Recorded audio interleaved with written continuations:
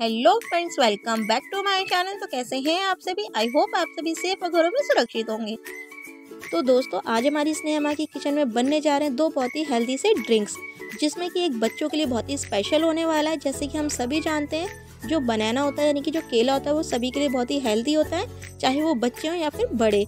लेकिन जो बच्चे होते हैं, केला इतने अच्छे से खाना पसंद नहीं करते हैं। अगर हम नॉर्मली बच्चों को केला देते हैं तो इतने अच्छे से नहीं खाते हैं। और अगर किसी ड्रिंक में या किसी और तरीके से हम देते हैं, वो भी चॉकलेट फ्लेवर के साथ तो बच्चे बहुत ही पसंद करते हैं उसको खाना।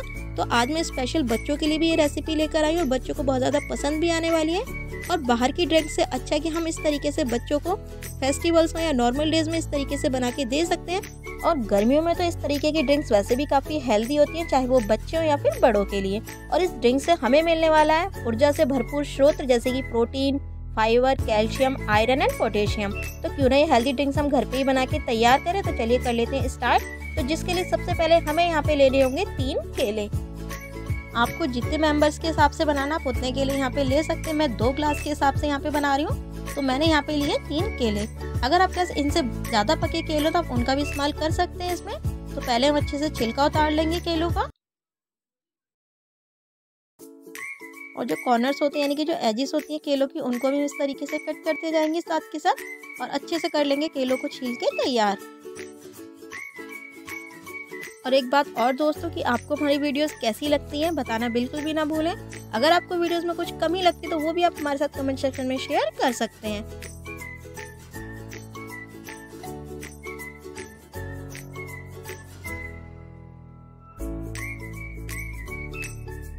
अब यहाँ पे जो हमारे तीनों केले छिलके तैयार हो चुके हैं अब लेंगे एक चाकू इनको इस तरीके से छोटे छोटे पीसेस में कट कर लेंगे।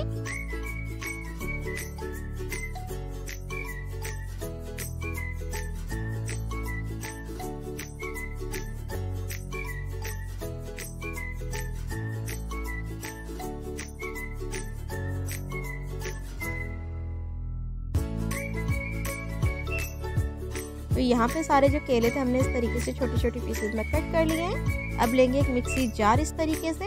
अब जितने भी हमने केले कट करके रखे हैं, छोटे पीसेस वो सारे हम इसमें डाल देंगे।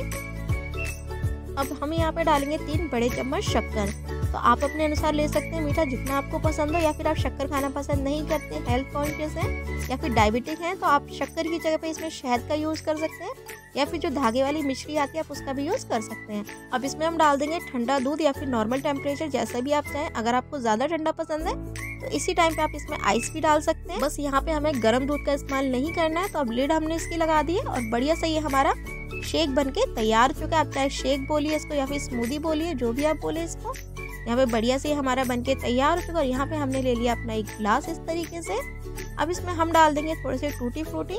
अगर आपको टूटी फ्रूटी पसंद है, आप ज़रूर ऐड करिए। नहीं पसंद है तो आप अपने पसंद से इसमें कुछ और ड्राई फ्रूट्स भी ऐड कर सकते हैं, बट यहाँ पे मैं टूटी फ्रूटी का यूज़ कर रही हूँ। अब उसके ऊपर से डाल देंगे हम अपना ये बनाना शेक। यहाँ पे ये सिंपल वाला तो बन के तैयार हो चुका है, जो कि हर किसी के घर में बनता है। और यहाँ पे ऊपर से डाल दिए मैंने चोको चिप्स, जो कि कलरफुल है, जो कि देखने में भी अच्छे लगते हैं। और इन चोको चिप्स की वीडियो आपको मेरे चैनल पर मिल जाएगी, अगर आप देखना चाहते हैं तो वहाँ से आप देख सकते हैं। तो यहाँ पे बढ़िया सा हमारा नॉर्मल ब्रांड शेक जो बन के तैयार हो चुका है। अब आता है इसमें एक दूसरा ट्विस्ट तो अब जो हमारा बाकी का बचा हुआ बनाना शेक है, उसमें हम डाल देंगे एक बड़ा चम्मच कोको पाउडर इस कोको पाउडर से हमारा जो बनाना शेक होता है, उसका लुक भी बढ़ जाता है दिखने में, क्योंकि बच्चों को तो वैसे ही चॉकलेट फ्लेवर वाली चीज़ें बहुत पसंद आती हैं।